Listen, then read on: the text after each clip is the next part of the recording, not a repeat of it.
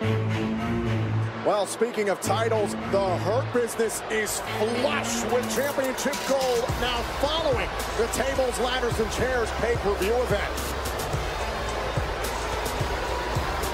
Please welcome the new Raw Tag Team Champions, Shelton Benjamin and Cedric Alexander, the United States Champion Bobby Lashley, and the host of the VIP Lounge, MVP.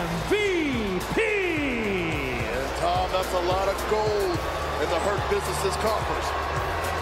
Imagine how proud MVP is as he's set to host this Champions Edition of the VIP Lounge. Listen, I'll give credit where credit's due. MVP promised that the Hurt Business would capture the Raw Tag Team titles last night, and they did just that. Plenty of business for this quartet to deal with later on tonight. MVP and the United States Champion Bobby Lashley team up against Jeff Hardy and Riddle. I guess we could call them the Hardy Bros. The Hardy Bros. Curious to see how MVP is feeling, considering Riddle was able to beat MVP last week here on Raw. Yeah, MVP thought he was going to teach Riddle uh, a lesson in respect, but it was Riddle who did the teaching last week. Hardy has run into the buzzsaw known as Bobby Lashley multiple times as of late. But Joe, it's time for a celebration. Indeed it is, and these gentlemen are about to get together and celebrate like no other.